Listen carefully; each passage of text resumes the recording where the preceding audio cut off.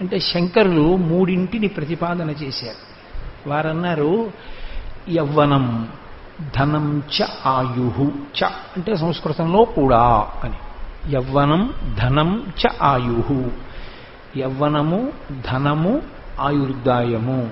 ఈ మూడు అతి చంచలమైనవి నమ్మడానికి అస్సలు వీలు వీలు లేనివి అది శంకరుల ప్రతిపాదన.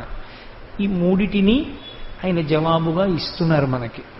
ఈ మూడిటి గురించి ఆయన మాట్లాడడం వెనక ఒక ప్రధానమైనటువంటి తాత్పర్యం ఉంది. మనిషి జీవితంలో అత్యంత ప్రధానమైనది అత్యంత శక్తివంతమైనది మనిషి ఉద్ధరణకి హేతువైన మనిషి సర్వనాశనమైపోయినా యవ్వనమునంది. యవ్వనము అత్యంత ప్రమాదకరమైనటువంటి స్థితి. ఎందుచేత అంటే ఏదో బాలుడిగా ఉన్నప్పుడు ఒకరికి దండనాధికారం ఉంటుంది. తండ్రి ఇలా వేలు చూపిస్తే భయపడతాడు. అమ్మ చెవి మిలిపిడితే భయపడతాడు. గురువు దండన చేస్తాడేమోనని భయపడతాడు. కొడుకు యవ్వనంలోకి వచ్చేసరికి తండ్రికి శరీర బలము తగ్గిపోతూ ఉంటుంది.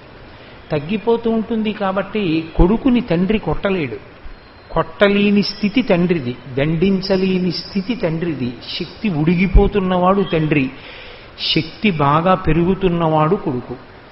ఇప్పుడు ఆయన ఎవరికి భయపడవలసినటువంటి అవసరం ఉండదు. తనంత తాను కట్టుబడవలసి ఉంటుంది. ఒక ఏనుగు ఎలా కట్టుబడుతుందో అలా తనకి తానుగా కట్టుపడ్డాడా?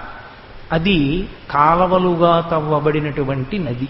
అది సస్యశ్యామలం చేస్తుంది కొన్ని లక్షల ఎకరాల్ని.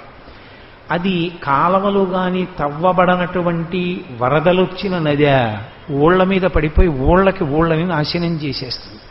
అందుకే అన్నిటికన్నా ఎక్కువ ప్రాధాన్యత ఇవ్వబడినది దీనికి అంటే యవ్వనమునకి.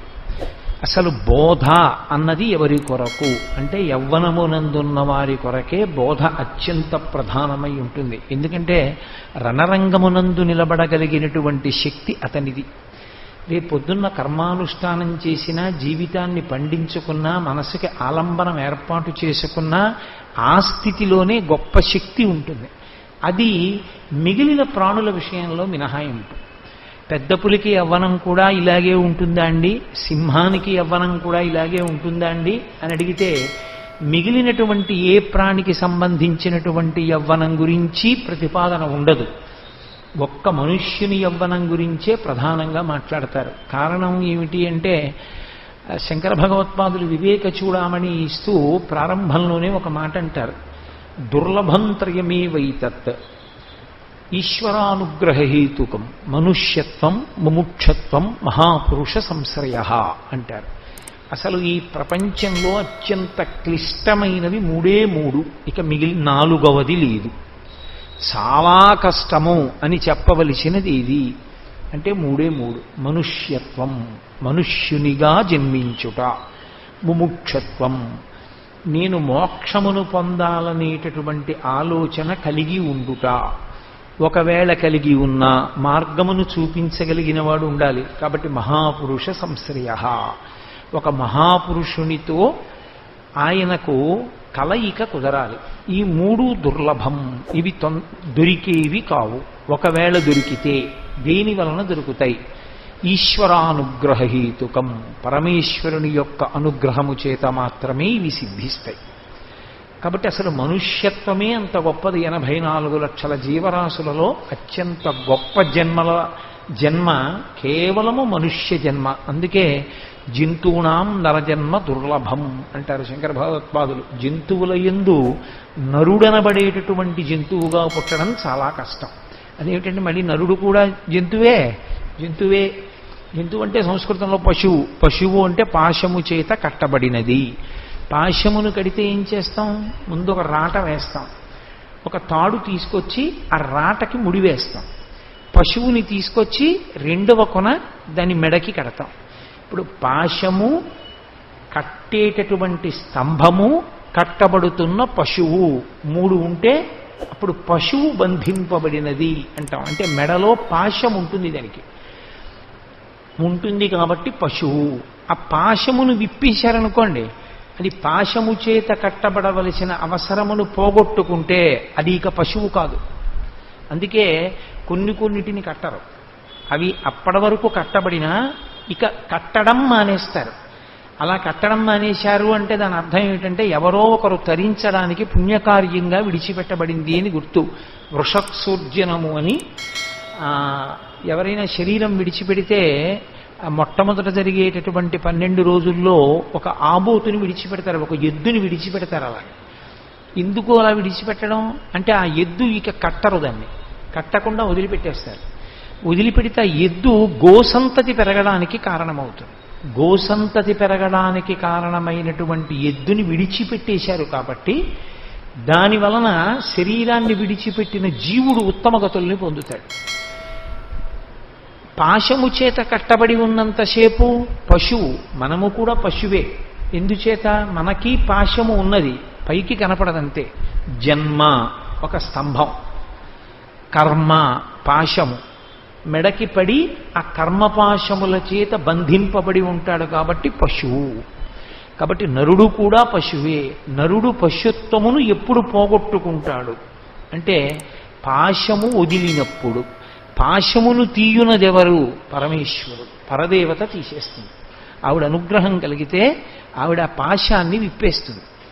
పాశాన్ని విప్పితే పశుపతి ఎందు కలిసిపోతాడు. అందుకని యజమానలింగము పశుపతినాథ్ అయి ఉంటుంది అది కారణం. కాఠ్మండూలో.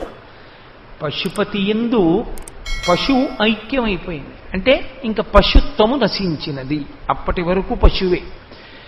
ఆ పశువులలో నరుడిగా జన్మించడం చాలా కష్టం. ఎందుచేత? అంటే ఏవి విశిష్టమైనవి లోకంలో ఉన్నాయో వాటినన్నింటినీ కూడా విశేష వస్తువుని పొందడానికి ఉపయోగిస్తాడు. అందుకే పరమేశ్వరుడికి చేస్తే కళ్యాణం జీవబ్రహ్మైక్య సిద్ధి. ప్రతిరోజు చేస్తారు కళ్యాణం. మనం చేసుకుంటే కళ్యాణం అనకూడదు వివాహము. ఎందుకని? వి అంటే విశిష్టమైనటువంటి దానిని పొందుట కొరకు ఆశ్రమాన్ని మారుతున్నాడు. అందుకనది వివాహము. విశిష్టమైనది ఏది లోకంలో? పరమేశ్వరుడు ఒక్కడే. అటువంటి పరమేశ్వరుణ్ణి పొందడానికి ఆశ్రమాన్ని మార్చుకుంటున్నాడు. బ్రహ్మచర్యాన్ని వదిలిపెట్టేసి గృహస్థాశ్రమాన్ని స్వీకరిస్తున్నాడు. ఇప్పుడు ఆ గృహస్థాశ్రమమునందు ప్రవేశించుట దేని కొరకు? విశిష్టమైన పరమేశ్వరుణ్ణి పొందుట కొరకు. ఈ పొందే ప్రయత్నంలో ఏం చేస్తాడు? ఏవేవి లోకంలో అత్యంత పవిత్రమైన ఉన్నాయనుకుంటున్నాడో వాటిని సేకరించి ఈశ్వరుడికి సమర్పిస్తాడు. ఒక ఆవు ఉంది. ఆవు పాలు తాను తీసుకొచ్చి శివలింగానికి అభిషేకం చేస్తాడు. తులసి దళాలు ఉన్నాయి. తీసుకొచ్చి కృష్ణ పరమాత్మకి సమర్పిస్తాడు. పారిజాత పుష్పాలు ఉన్నాయి. వాటిని దండగుచ్చి అమ్మవారి మెడలో వేస్తాడు. కాస్తంత గ్రాసం తీసుకొచ్చి ఒక ఆవుకి తినిపిస్తాడు. నీళ్ళు తీసుకొచ్చి ఆవుకి పెట్టి తాగిస్తాడు. ఇంటికి వచ్చిన అతిథికి కాస్త అన్నం పెడతాడు మంచినీళ్ళు ఇస్తాడు ప్రేమతో పలకరిస్తాడు. ఇప్పుడు ఇటువంటి కార్యములన్నీ చేసి ఏం చేస్తాడు? ఈశ్వరుణ్ణి చేరిపోతాడు. ఇవన్నీ దేని కొరకు చేస్తారంటే ఈశ్వరుణ్ణి చేరడానికి. ఒక ఆవు అంత గొప్పదైనా ఆవు తన పాలు పట్టుకెళ్ళి శివలింగం మీద అభిషేకం చేసుకోగలదా? చేసుకోలేదు. గడ్డి పరక చాలా చాలా గొప్పది. లోకంలో గడ్డి పరక అంత గొప్పది ఇంకోటి లేదు. అందుకే విఘ్నేశ్వరుడికి గడ్డి పరకలతో పూజ చేసి మొట్టమొదట గడ్డిపరకని ముట్టుకోవాలి. ఏదైనా పెద్ద కార్యం చేసేటప్పుడు మొట్టమొదట గడ్డి పరకని ముట్టుకుని కళ్ళకద్దుకుని తల మీద పెట్టుకోవాలి.